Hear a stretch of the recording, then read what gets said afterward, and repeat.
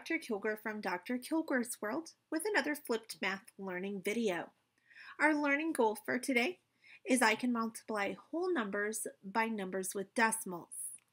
So our guiding question is how do you multiply a whole number by a decimal? Our strategies for success for today are first you want to write the problem just like you would multiplying whole numbers. You do not line up the decimals when you are multiplying. Addition and subtraction, we line them up. Multiplication, we do not.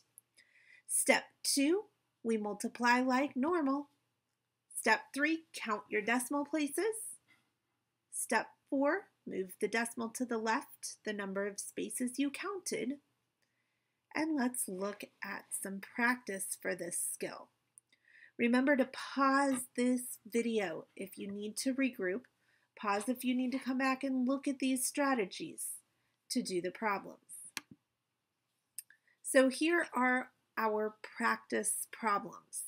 The first ones are written, already put together for us, and then we'll do some where we have to write them. So we have 9 and 8 tenths multiplied by 2. 2 times 8 is 16. 2 times 9 is 18, plus 1 is 19. Now count the decimal spaces. This row has one decimal. This row has 0. 1 plus 0 is 1.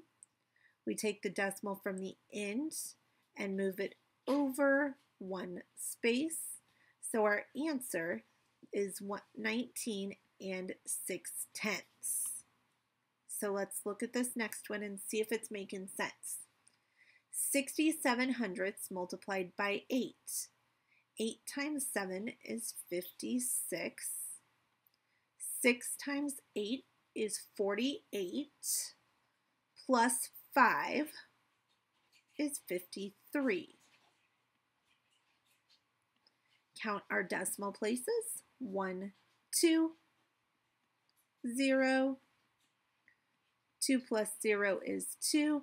That means our decimal starts here, goes over one space, over another space, and our answer is 5 and 36 hundredths. So this next one is a little bit more difficult because we have to remember not to line them up. So 34 times 5 and 3 tenths. 2 digit by 2 digit now. 3 times 4 is 12.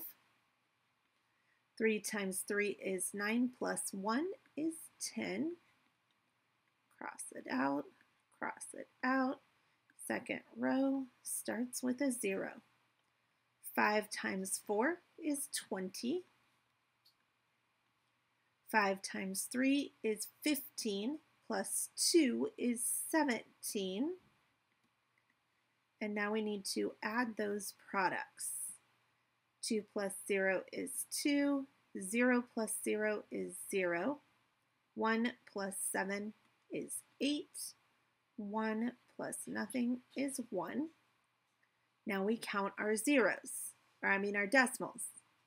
0 here, 1 here. 0 plus 1 is 1. That means our decimal comes over one space and we get 180 and 2 tenths. Give me just a second to set up some more practice problems and we will keep doing some practice. Okay, so I want you to try these practice problems on your own before you try them with me. Go ahead and copy them down on your paper, pause the video, and start working the problems. Then go ahead and press play and come back and check with me.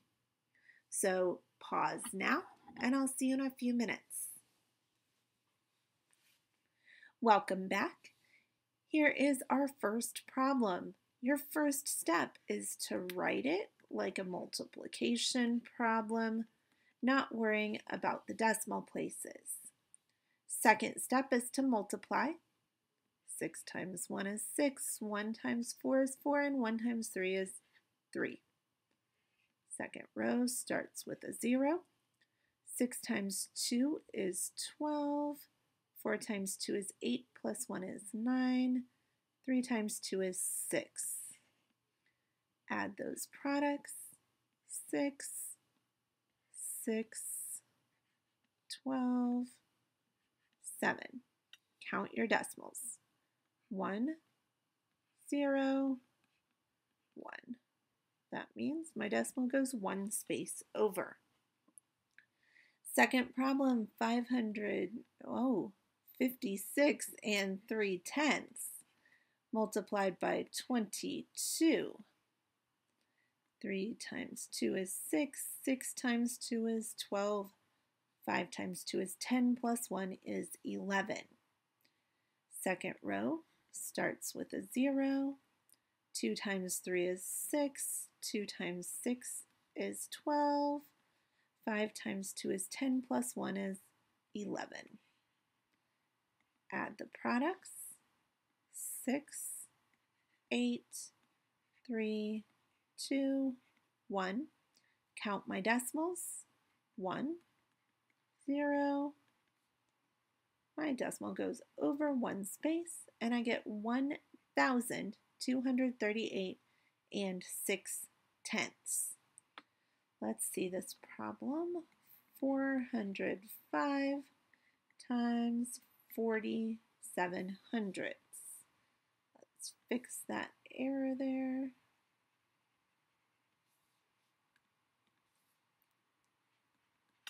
There we go. 7 times 5 is 35. 7 times 0 is 0 plus 3 is 3. 7 times 4 is 28. Second row starts with a 0. 5 times 4 is 20. 4 times 0 is 0, plus 2 is 2. 4 times 4 is 16. Add the products. 5, 3, 10, 6, 7, 8, 9, 1. Add my decimals. 2 decimals over 1 over 2. Put the dot. Let's come down to the bottom. 2 times 0 is 0. 2 times 4 is 8. 0.